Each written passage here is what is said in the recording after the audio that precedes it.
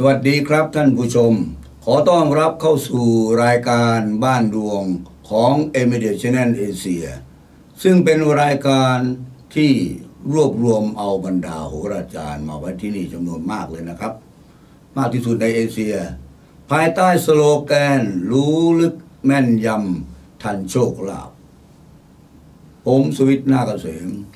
วันนี้ก็จะนำโชคลาภมาให้ท่านอีกเช่นเคยนะครับ ในรายการดาวดีเลขเด็ด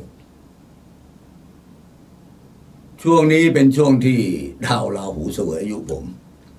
นะครับ ผมก็เลยต้องมาอัดเพื่อเป็นการแก้เคล็ดมาอัดในวันพระรหัสบดี วันนี้เป็นวันพระรหัสบดีที่สิบเก้าใช่ไหมสิบเก้าสี่สิบเก้านะฮะก็พอดี ดาวพระหัสบดีมีกำลังสิบเก้าวันนี้วันที่สิบเก้าวันพระหัสบดี วันพระหัสบดีเป็นวันธงชัยของผม ผมเลยแก้เคล็ดแล้วราหูจะสวยอายุผมทุกปีในช่วงเดือนกรกฎาคม ก็จะทำให้อะไรมันมันก็มีอะไรที่จะบกพร่องผิดพลาดแต่คราวนี้ ผมเอาบรมครูโหนของผมมาด้วย เนี่ยฤาษี บรมครูโหนร้อยแปดซึ่งเป็นของสมาคม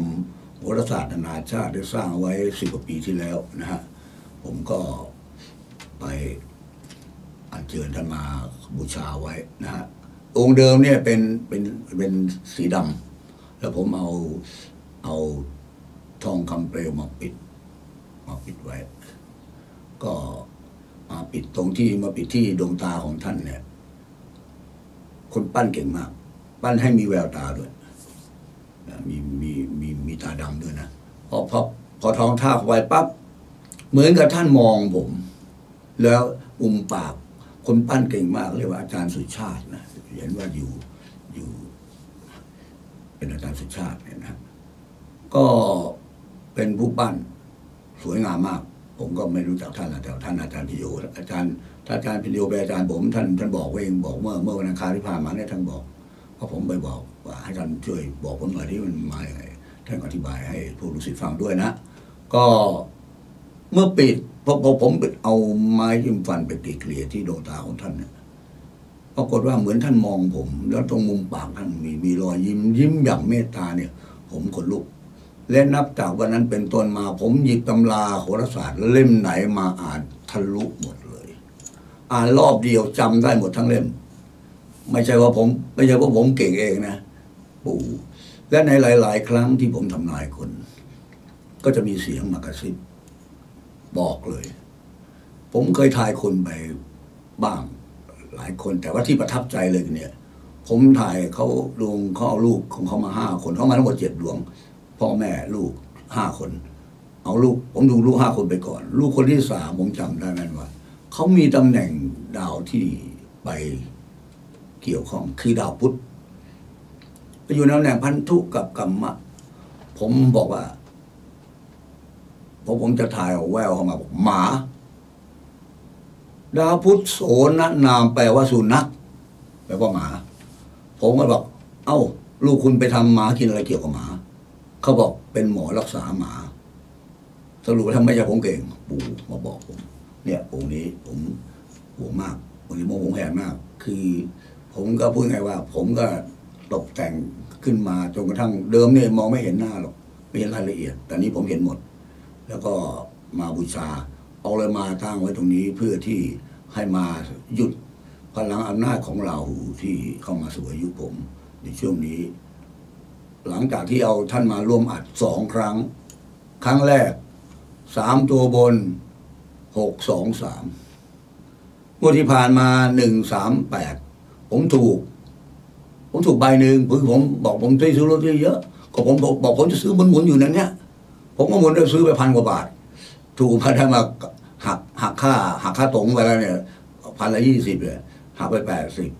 หักทั้งค่าหวยค่าอะไรค่ารถเรีค่าลงทุน ก็เหลือกำไรอยู่นิดหน่อยพันกว่าบาท เกือบเกือบสองพันก็สองวันหมดแล้วก็เรียบร้อยนะครับ งวดนี้วันนี้ผมมาดูดวงโลกในวันที่หนึ่งสิงหาคม ก็เป็นหลักเกณฑ์ของผมวันหนึ่งสิงหาคม ในวันนี้ดาวต่าง ๆ โคจรอยู่ในจุดที่ดีเด่นมาก และผมก็เป็นหลักของผม ผมก็จับมาแค่ห้าดวงที่เด่น แต่ความจริงแล้วมันมีเด่นเยอะ ทีนี้จะไปเหมือนชาวบ้านเขาให้ที่เจ็ดเจ็ดเจ็ดเลขแปดเลข พอถูกมานั่งบอกโอ้ยแม่นจังปังปังผมไม่ว่าใครแต่นี่ว่ามันมันเกินไปผม หลังวันที่แปดเราหูออก ผมจะให้สามตัว อ่าต่อไปนี้ผมให้สามตัวเลย ถูกก็ถูกลุยถั่วไปเลย ผิดก็ผมลงคลองไปเลยออย่างนั้นมันวัดไปเลยดีกว่า คือผมปกติเมื่อก่อน ผมก็แค่สามตัวนะเพราะผมไม่ได้ไปซื้อเยอะ ผมซื้อสามตัว ผมวิ่งไปวิ่งมากลับไปกลับมาเนี่ยมันลงทุนน้อย แต่ถูกบ่อยไอ้สามตัวนี้ถูกบ่อย ไอ้ห้าตัวที่กลับลังเลทำให้เราลังเลมาถ่วงนู่นถ่วงนี่ห่วงหน้าพะวงหลัง ก็เลยดูไม่ค่อยเขาถามตัดสินใจว่า เอาเลย เอามันซะฮะสามตัวเลย เมื่อก่อนผมก็ให้แต่ผมไม่ได้ไม่ ผมไม่ได้แทงหวยผมซื้อลอตเตอรี่ มันไม่ถูกหรอกเพราะมันออกข้างบน เลขที่ผมหาคือหาเลขบนอย่างเดียวนะ ผมไม่สนใจเรื่องเลขล่าง ถูก ผมรู้มันออกผมยังไม่แทงเลยผมไม่อยากได้รางวัลพันกว่าบาทเนี่ยใช่ไหมซื้อไปซื้อไปตั้งเยอะแล้ว ซื้อไปก็เกือบเกือบพันพันถูกพันกว่าบาทไมันได้อะไรผมไม่อยากได้ ผมอยากถูกอันหนึ่งเพราะนั้นผมหาเลขบนอย่างเดียว ก็จำหลังผมมาต่อไปนี้ ผมจะให้สามงวดหน้างวดวันที่สิบหกผมจะมาอัดหลังวันที่แปดแล้ว หรือก็อัดได้อีกทีหนึ่งแต่คิดว่า มันหลังวันที่แปดไปแล้วเนี่ย ดาวศุกร์จะเข้าสู่อายุผม ตอนนั้นแหละ อะไรก็ดีหมดอะนะก็ก็เคยถูกลอตเตอรี่ติดต่อกันห้างวดติดต่อเลย คือถูกมาใบหนึ่งได้สี่พันซื้อไปสองพันยกใส่ ถูกอีก ทีนี้ซื้อเป็นชุดได้เขามีทุนแล้ว อย่างเงี้ย อย่าง อย่างในวันที่หนึ่งเนี่ย ดาวอาทิตย์หนึ่งโคจรอยู่ในราศีกรกฎ เป็นมหาจักร ดูดีมาก แล้วอยู่ในจุดที่ดีด้วย คือจุดเนี่ยเป็นจุดเคล็ดลับที่ผมพูดไม่ได้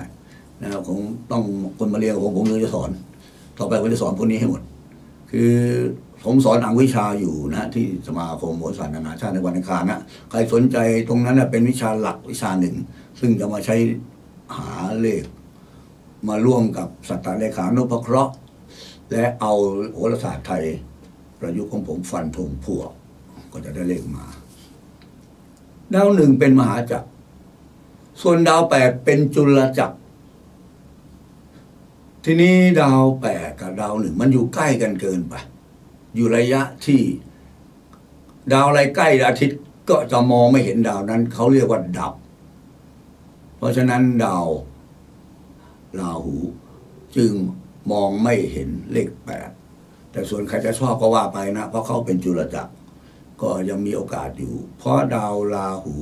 มาอยู่ในราศีกรกฎเนี่ยเขาให้คุณกับพวกชาวราศีกรกฎราศีเมษราศีตุลและราศีมังกรพวกนี้ก็เขายังอยู่ดีอยู่นะ ส่วนดาวพุธสี่เป็นบริวารใกล้ชิดกับดาวอาทิตย์อยู่ในห่างจากดาวอาทิตย์ไม่เกิน 28องศานะครับ เพราะนั้นจึงมีโอกาสอยู่คู่กันตลอด อยู่หน้ามั่งอยู่หลังมั่งอยู่คู่กันมั่ง ก็มาอยู่คู่กับดาวอาทิตย์ในราศีกรกฎถอยหลังเข้าอยู่ในระยะดับพอดี ดาวดับ ดาวถอยหลังก็คือดาววิกลพักไม่ดีให้โทษ แต่พอเข้าสู่จุดดับ โทษก็โทษก็ล้างกันไป กลายเป็นว่าดาวพุธสี่ก็มาเจิดจรัสรัศมีอยู่ในราศีกรกฎคู่กับดาวอาทิตย์หนึ่งกับสี่คู่นี้นะครับ อีกสองดวงที่มอง คือดาวจันทร์สองกับดาวเกตเก้าโคจรอยู่ในราศีมีน อยู่ในตำแหน่งนี้ ดูดี ดาวสองดวงนี้สองกับเก้าเป็นคู่โชคเทวฤทธิ์จึงจับคู่มาอยู่ในราศีมีนทำมุมตรีโกณกับดาวหนึ่งดาวสี่ดาวแปดเป็นตรีโกณกันอย่างที่ได้อธิบายไว้ในคลิปของของออราศีต่างๆ ผมก็ได้อนุมัติไปแล้วว่าให้แปดราศี ในในช่วงเดือนสิงหาคมเนี่ยจับเงินล้านเนี่ย มีแปดราศีนะครับ ส่วนอีกดวงหนึ่ง คือดาวพระหัสห้าอยู่ในราศีตุลเดินหน้าเรียบร้อย อยู่ในสวาตีนักสัตว์ที่สิบห้าเทวีแห่งเลิกอยู่ในจุดตำแหน่งที่สง่างามมาก เด็กที่เกิดในวันที่หนึ่ง และถ้ายิ่งไปอยู่เกิดอยู่ใน เกิดตอนช่วงตีสี่ต่อหกโมงเช้าเนี่ย อยู่ในราศีมิถุน ลัคนาอยู่ในราศีมิถุน สุดยอดเลยนะ ได้รับประโยชน์จากดาวห้าเต็มเต็มๆเลย เพราะนั้นดาวอะไรก็ตามที่อยู่ในในจากราศีในช่วงนี้ไปผูกพันยึดโยงอยู่กับดาวห้าเกือบทุกดวง เพราะนั้นอิทธิพลของดาวต่างๆ เหล่านี้อาจจะส่งส่ง หรือดาวนั้นได้แรงจากพระหัสหรือและ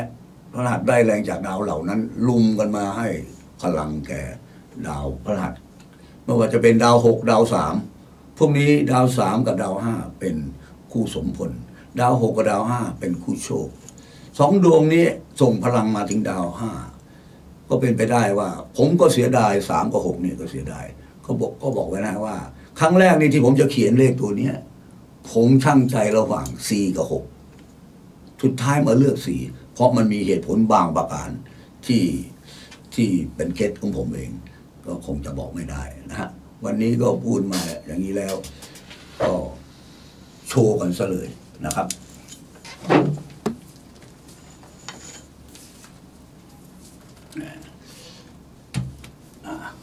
เอากันอย่างเงี้ยไม่ต้องตัดต่อกันแล้วเนี่ยเนี่ยเอามันชัด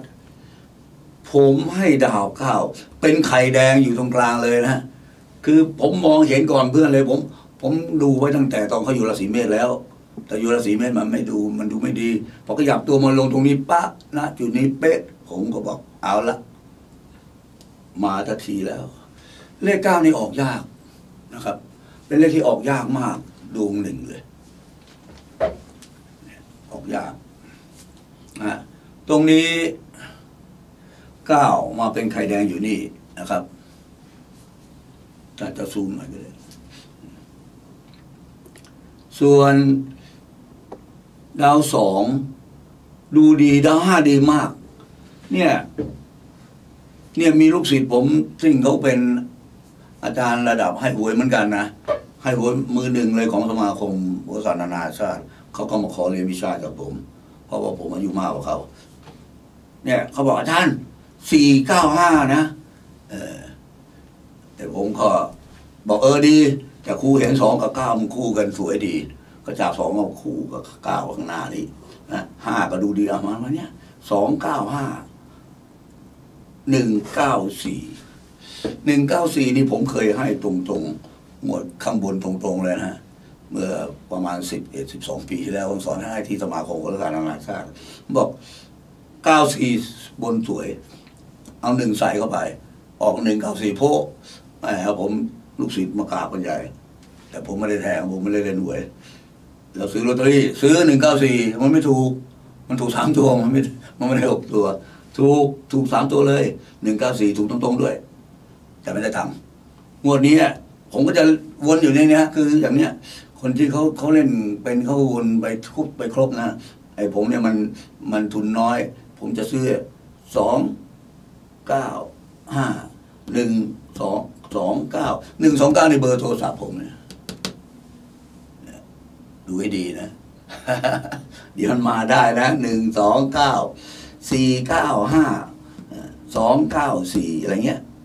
ผมจะเล่นผมหมุนผมอยู่อย่างเงี้ยผมมองดูแล้วมันดูดีคือหนึ่งกับสี่เป็นคู่ เป็นคู่วิชาการ มาอยู่คู่กันในราศีกรกฎสองกับเก้าคู่โชคฤทธิ์ไปอยู่คู่กันในราศีมีน อย่างเงี้ยมันมันมันมันมีตัวที่มีตัวที่ที่ดูดี อย่างเมื่อแล้วผมจับโศกกับสามนะแล้วแต่แล้วก็ผมก็เดินเนี่ยผมก็เดินทุกตัวเลยหนึ่งหนึ่งหนึ่งห้าแปด หนึ่งหกแปดหนึ่งสามแปดก็ถูกหนึ่งสามแปดใบหนึ่งได้กำไรมาหน่อยเดียว แล้วก็หมดของของวันก็หมดแล้วนะโอเคครับ ก็ประมาณนี้นะฮะ ก็ไปหมุนหมุนเอานะฮะ เพราะว่าถ้าตรงเป๊ะมันก็ดี แต่ต่อไปนี้หลังจากงวดนี้ไปแล้ว จะเหลือแค่สามตัวนะครับ เพราะว่าผมบอกให้ห้าตัวนี่ มันก็ขัดแย้งเองอยู่เนยนะเอามันสามตัวไปเลยดีกว่า รู้แล้วรู้รอด อย่างนั้นก็ยังอาจจะฝากฝากเขาเล่นมั่งเพราะก็มันได้นิดก็ยังดีกว่าหมดนะครับสำหรับวันนี้ขอให้ทุกท่านมีโชคดีนะครับ บางท่านที่ถูกก็อนุโมนาโดยมีคนกระโทรศัพท์มาบอกเขาถูกนะเขาเขาเขาหมุนนะเขากลับถูก ลูกศิษย์ก็เอาตังมายัดใส่กระเป๋าให้โอเคนะครับ วันนี้ขอลาไปก่อน พบกันในโอกาสหน้า พบกับสามตัวตรงๆนะครับ เราวันนี้สวัสดีครับลาก่อนครับ